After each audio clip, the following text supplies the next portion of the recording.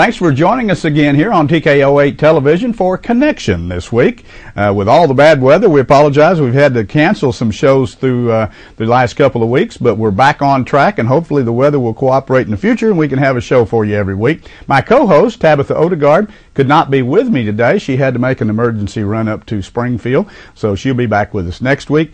But we hope you always enjoy the show. We try to have different uh, organizations and individuals come in each week and talk about what's going on around the broadcast area, and we're going to give you some good information here today. Stay with us. We'll be back on Connection in just a moment.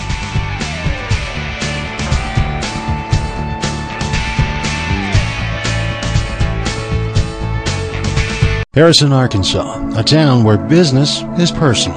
A Health Mart town. Pharmacist Tara Wilmot owns her Health Mart pharmacy. Here, Tara offers free one-on-one prescription medication consultations, providing information to customers in a way that makes them feel comfortable, not confused. Expert knowledge, personal attention. It's what makes Tara a Health Mart pharmacist and Harrison a Health Mart town. Your town is a Health Mart town. So visit your locally owned Health Mart today.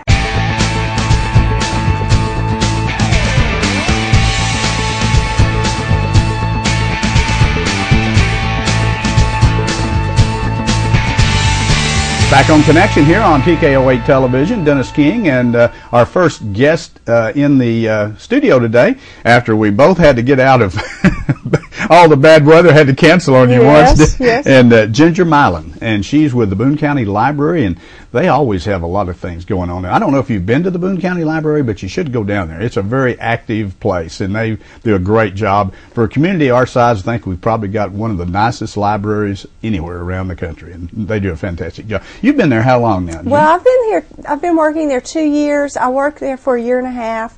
Uh, right after I retired from teaching, Teaching, and yeah, I had to resign. I, we had my father-in-law here, here, and he was not doing well, Right. and so um, I, I left. And then I had the opportunity to get the job I had before, Back. and I jumped at the opportunity to now do you do basically adult programs. I do. Okay. I do adult programs, and I and I also do all the publicity Okay, for the library, which is why you send us right, stuff all right, the time. Right. Well, we're And- glad you do. We Well, we thank uh, always enjoy having you on and and going down to the library every once in a while, and they have some great programs. And we're going to talk about some programs here. In fact, uh, well, let's. I'll start off, and then you can just kind of take off with Okay. it. Um, the CAAH seed swap. Yes. Now tell me about that. That sounds interesting.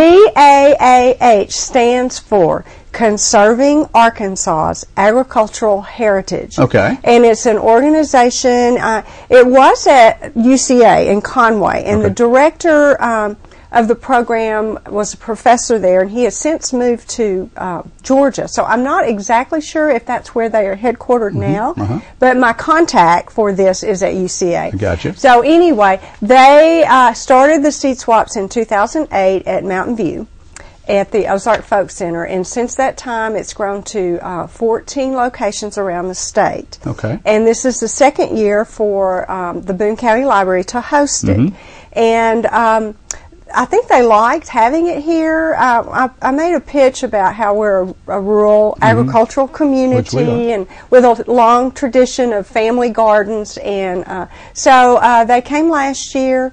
Um, they brought heirloom seeds that are a part of their collection in their seed bank, and then we encourage people in the community to come and bring seeds that they saved. Okay. And uh, last year was the first year I didn't know what to expect, but we had over 60 people who showed up, and most of them did bring seeds. Uh, Wow. There was a lot of trading back and forth. There were vegetables, flower, seeds. There was a lot of information. How do you grow this? Uh, what do you do about that? And uh, but the most interesting part of the day were some of the older people who came, Hmm. uh, who brought seeds that their family, um, their families had been saving for generations. Wow. You One- don't- you, don't think about that. No, often, you do don't, you But don't. you said heirloom seeds. I'm thinking, hmm. I mean, heirloom furniture. and, Uh, you know, but seeds that seeds that have uh, could be hundreds of years old. Right, right, and that's their goal is to preserve all that. Wow. And that's why they go to all these different sites across the state, hoping to um,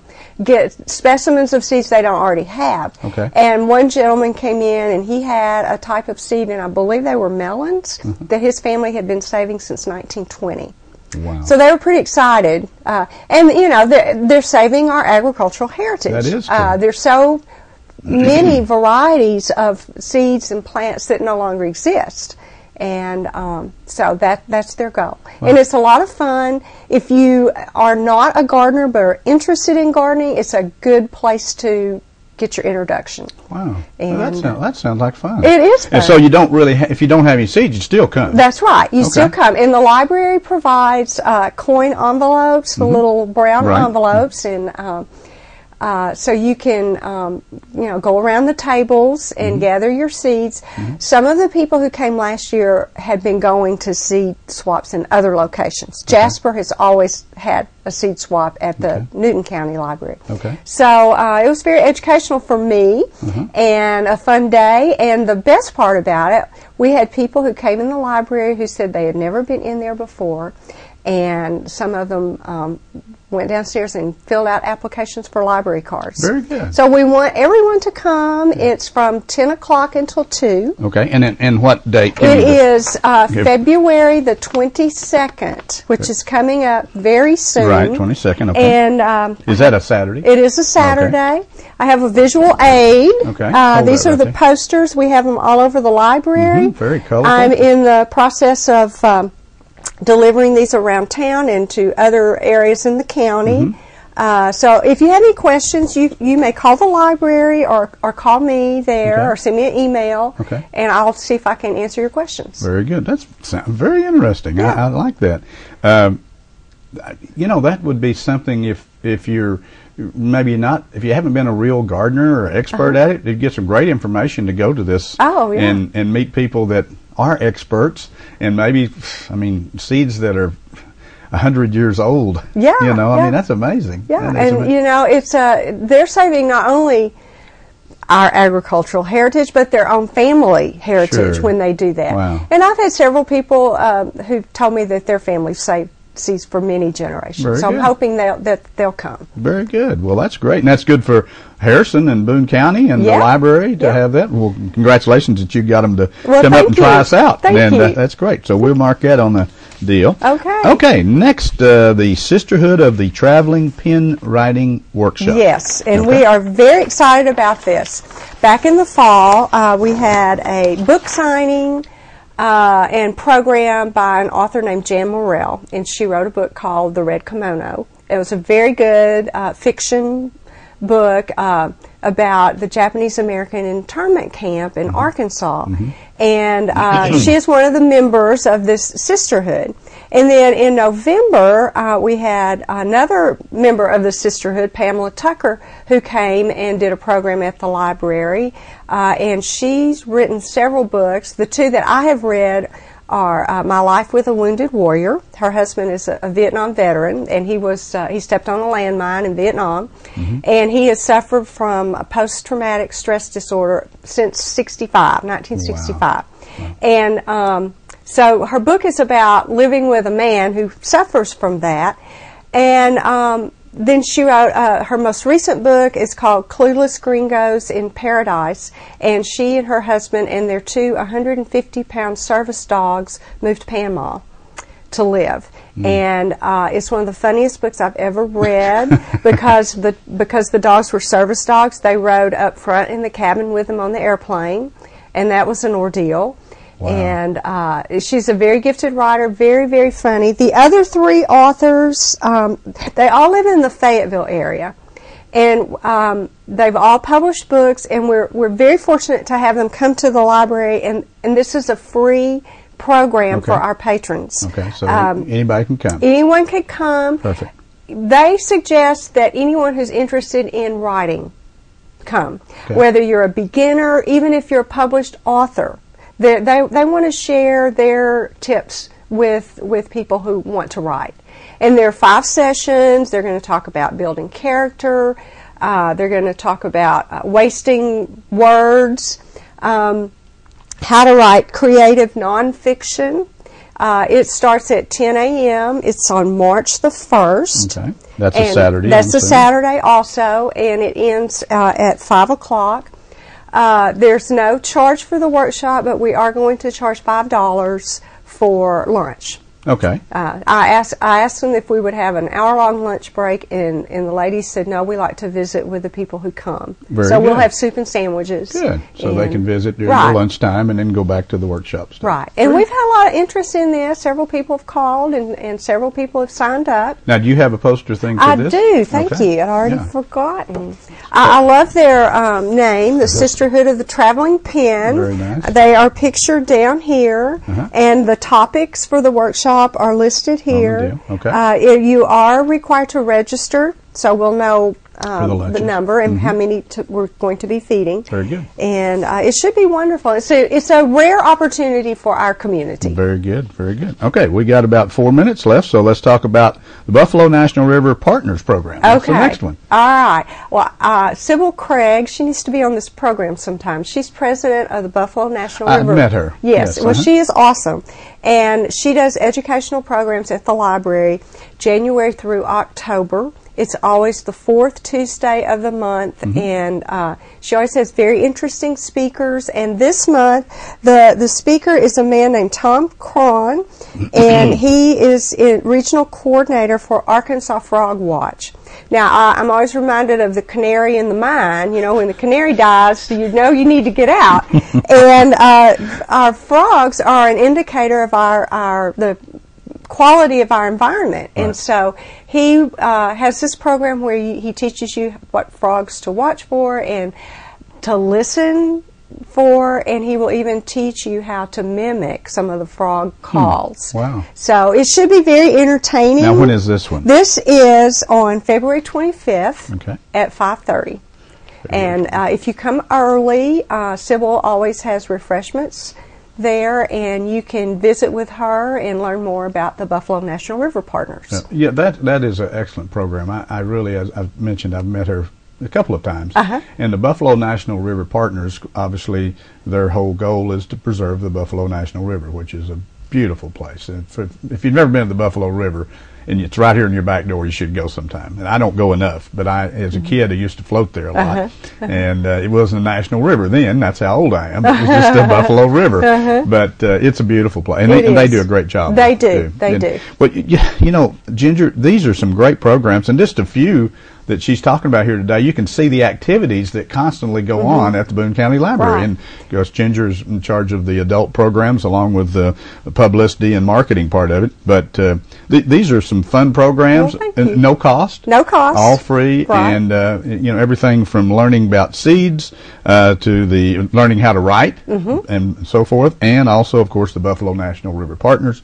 And uh, what about frogs? Never think about frogs very often, but this, you hear them a lot, especially in the spring and summer. They're probably frozen right now. They're they're hibernating. They are, so they cold. are, But yeah. uh, Ginger, thank you so much for coming in. Uh, we appreciate it. And you keep me updated, I and then come back in. And you know, maybe once a month, you probably should come in and update us on what's going on for the month. Aw, and thank you. these I are fun appreciate that. programs, and I'm and sure. these are just the ones for adults. We have Yeah, tons of programs for children, teens. Yeah, uh, you do have. lots of things going on. all lots of activities plus tons and tons of books and of course now they've all modernized as well. You can get on the computer and if they don't have it there you can find it somewhere else. So, That's right. ginger thank you so much. We appreciate it. Ginger milan with the boone county library talking about many activities going on there. Go by and check it out and uh, i'm sure there'll be some activity that it's for you. And uh, we appreciate you joining us here for the first half of our show. Stay with us on connection. We'll be back in just a moment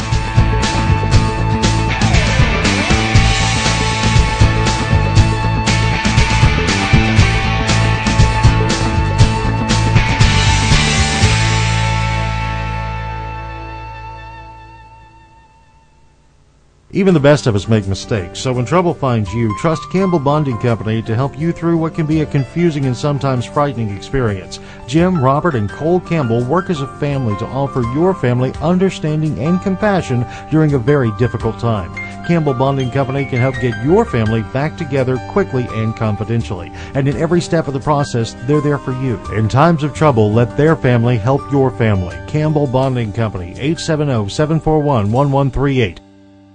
Dental Creations on the Square in Harrison is the go-to place for all your denture services. We know how to get good results.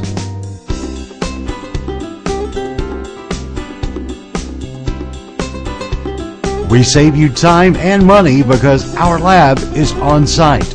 A dental office you will like and trust. Dental Creations on the Square in Harrison, next to Harness Boots. Just look for the big red boot next door. Call today. You'll be glad you did.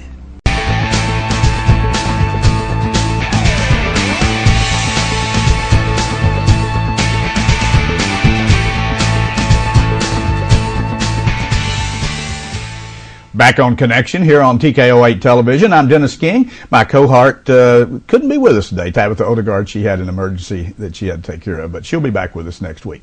Thanks for joining us. Join us every week as we have different organizations and people come into our studio here to talk about what's going on around the broadcast area and what's important to you right here in your own back door. And the next guest in the studio today is Patsy Dean. Patsy's going to tell us about something that I wasn't familiar with and, and found out about it and I thought it's, it's important for the rest of the community, if you don't know about it, to know about this thing. And we're going to talk about Christ Food Pantry and Thrift Store. And we're so glad you could come in. Sorry we had to reschedule a couple times. The weather didn't cooperate too much. No, it didn't, but that's uh, very understandable. I, I, I, told Patsy when she was coming to our studio, which our studio B is downstairs. B means basement. And uh, it, it's a nice studio, but around the walkway, there's some ice there. I said, you know, if you've never been in the Olympics or done any ice skating, here's a great opportunity to start because you can start at the top and go all the way down. We got her in here and we didn't, we didn't have any accidents yet, did we? None. okay. Uh, when did the pantry begin? Uh, tell us a little bit about it. Well, originally we began the pantry in November of 2011, and it was called Waterfalls Food Pantry. Okay. In August of 2013, we moved the pantry and changed the name to its current name of Christ Food Pantry and Thrift Store. Okay. We opened the thrift store to help fund the food, and we have a couple other churches that came in with us. They they saw the need and they had a heart cry to help our community with food. So okay.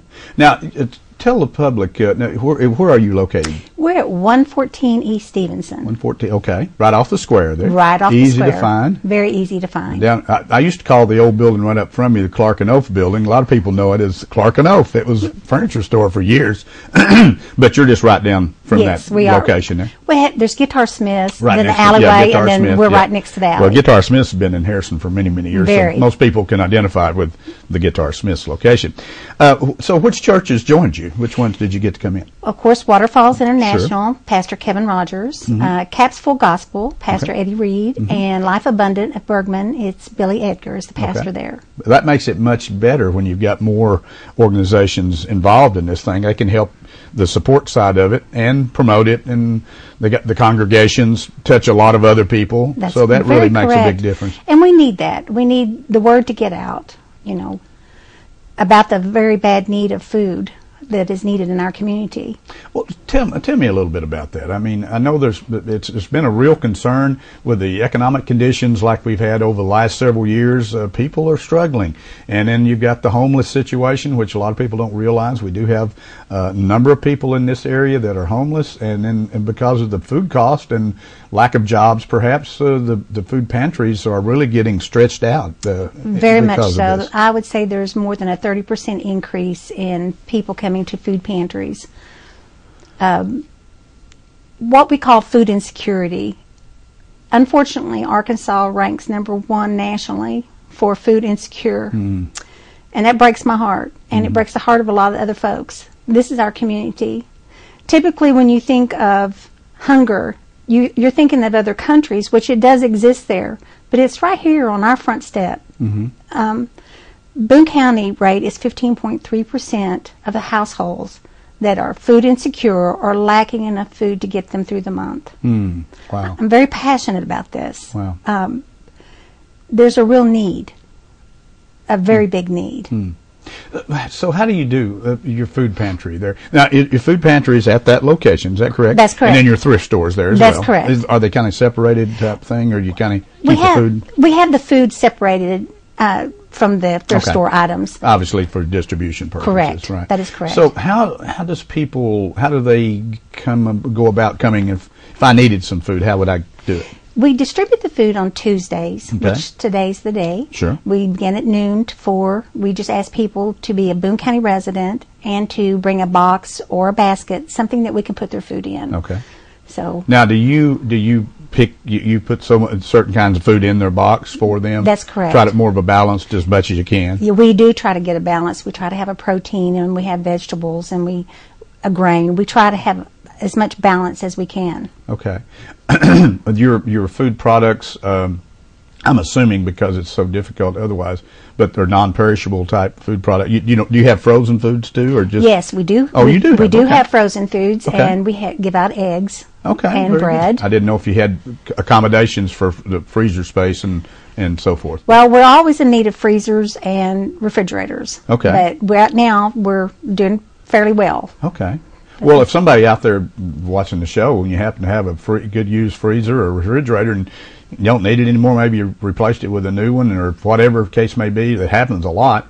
Rather than sell it, go down by and see if they need it and, and donate it to them. They'd be very, very uh, pleased the fact that they might need another unit to put that stuff in. Always. Because good. we have a growing amount of clients that are coming to us. Um, DHS will rec- refer some of the clients Sure. to us, and then others are hearing it word by mouth, and they just see the sign, they'll come in and inquire, and there is a very big need. Do you get? Uh, I mean, obviously, a, a place like this needs donations. So I'm assuming you would take donations Yes. from anybody. Uh, and the church people help. Yes. But if somebody just walked in and said, "Hey, you know, I think you got a great cause going, and you want to give them twenty bucks or a hundred dollars or five dollars or a dollar," uh, that it would be very appreciative. That would be very appreciated. You know, Yeah. either money, food, Sure, time, food. even. Food- We food- always food would be great, too. It would be awesome, and we always need some people to come help. You know, hang up clothes or go through donations. So there's always a need, and there's always some way you could help out. Okay, so uh, people that that uh, bring you know maybe bring good used clothing to you. Uh, is there a requirement on your clothing? I mean, does it have to be? I don't know. Some places you have to have it dry cleaned or washed or whatever. Uh, I mean, what what what do you require? I don't have a requirement on that. Matter of fact, um, I take all the clothing to my home and wash and dry it. Mm-hmm. oh uh, wow! Tennis shoes, I take them home and wash and take them back to the thrift store so that we can hang them up and price them and Wow. get them out. You're one busy lady. Yes, I am. that is that's amazing. That you de- definitely are dedicated to it if you're doing all that. Plus working at the store. yes. Yeah. Uh, my heart is very much so into trying to help our community. And I know there's a lot of others out there that have Sure. that same calling. Yeah, that's okay. More than better. It is. You know. It takes us all. It really does. It- yeah. it does. Well, especially in today's times. I mean, a lot of people are stressed. Uh, you know, if you've lost a job, or perhaps both adults lost uh, have lost their job. Uh, you know, it's it's tough, and it's really the. It, Living in a small community, we should say, you know, we've got a little bit of an advantage over maybe living in a metropolitan area, although metropolitan areas have uh, help centers for their people as well. But here it's more of a one-on-one situation. You know, if you know of somebody that needs some help, help them out. If you can't help them by yourself, maybe get involved Right. uh, with Patsy and some of these organizations that are joining together and uh, as a group Right. uh, doing a good job in, in helping the community. So I, I applaud you uh, for that. Um, okay, let's talk about what about uh, when are you open? Uh, The thrift store is open Monday through Friday, 10 to 6, and that's when we can also accept donations. The food distribution is done on Tuesdays Okay. uh, from noon to 4. And like I said before, just bring a box or a okay, so you, you just you have distribution of the food just one day a week. Yes. Okay. Now we will do it in emergency situations, like if someone was not aware that we were there or Sure. available, or if they absolutely have no food, we will help them on an emergency basis. How's your with this time of the year and the bad weather conditions? Uh, how uh, how do you run short certain times of the year on your food products? Are you how how do you set right now food wise? Well, we just placed another order. We're a member of the Food Bank of uh, North Central Arkansas out of you about that. Norfork. Okay. And uh, we place orders with them plus buy from local Okay. Grocery stores. Mm-hmm. And uh, like I said before, we try to help provide a balance of meat and vegetables, eggs, grains. There's always a shortage. We always need something, you know. So any kind of help would be very appreciated. Uh, if I'm not mistaken, the, uh, the the food banks or state food banks, I guess I should say, if I'm using that correctly, uh, you know, they're they've got some major supporters. I think Tyson Foods is one Yes. of them. Uh, but uh, so you're because of your identity and what you're doing, you're able to get some products from the food bank, is like like other organizations that are distributing. Yes, we do. Matter of fact, Walmart is another big distributor. Right. They they support the food bank Right, I knew they did. very heavily. Yes, So- that's good. Um, I guess uh, we got a few minutes left. What what could pe- what what's your greatest need? Is it volunteers? Is it food? Is it money? Or all three? All three, but I would say, of course, food, money, so we can purchase more food to give out, and volunteers. right. You know, and that's now, for now all the food you're banks. volunteering a lot of your time. And How many people normally would? Be, will you are you down there by your? Well, you're not today. You're here. It, do you usually have two or three people helping you? Well, on on the food day, we usually have about five of us. Okay. And then on other days, a lot of times I am at the store alone. Okay. And then some days there there'll be one other person. Somebody comes in. Yes. Is, is it all volunteer? all volunteer. Wow, no pay. No pay. We don't ask for any. We don't want any. Don't we want just any. want to Good. try to help the community. Self satisfaction. Yes. Oh, that's fantastic.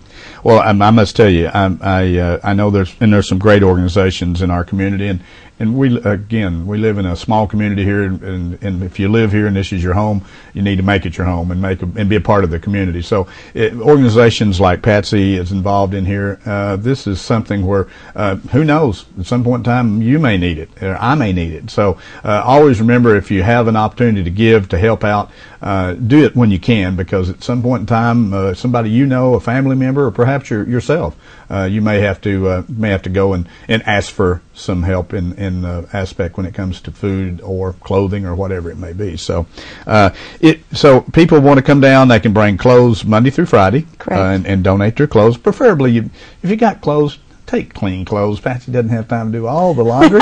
take take nice clean clothes, something that you would be proud of if you got it yourself, and you're giving it away, obviously. But uh, uh, new clothes, uh, slightly used clothes, anything like that that, that can support uh, the food pantry by uh, giving them uh, the parts for the thrift store where people Correct. come in. And I, I bet you have a lot of people come in there. Uh, We do, shopping. and there's more and more that are learning that we're there and they're coming in. What if someone came in and they needed clothes but they couldn't afford to buy? Do you give them? We give them to Okay, I them. We pull them off did. the rack and we give them to I them. assumed you would. That's that's fantastic. Uh, do, does your building? Do you have to pay for it, or somebody donate that?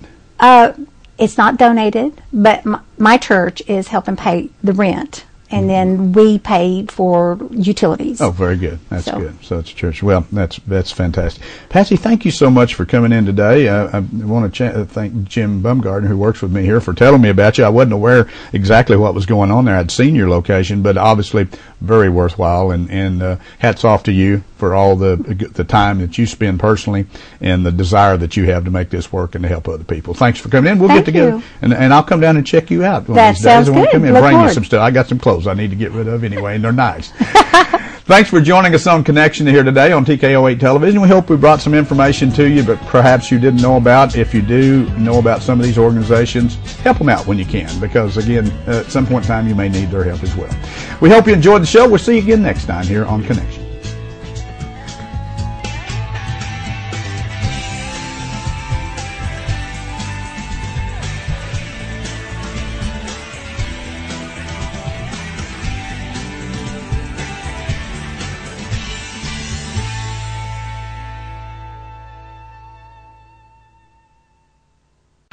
The scientists at Shell have created Shell V-Power Premium Gasoline, which actively cleans for better performance, helping make the roads more exciting to drive.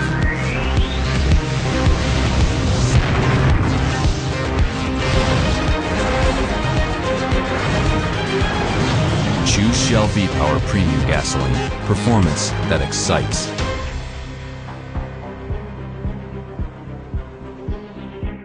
First National Bank, we're making banking easier with free checking, secure online bill pay, agri loans. We're meeting your financial needs. First National Bank offers what other big banks do, along with some things they don't. While we're big enough to provide you with the services you need, we're small enough to know your name. We offer our customers eight convenient locations. Come see why First National Bank is the right bank for you. First National Bank, the right bank. Member FDIC.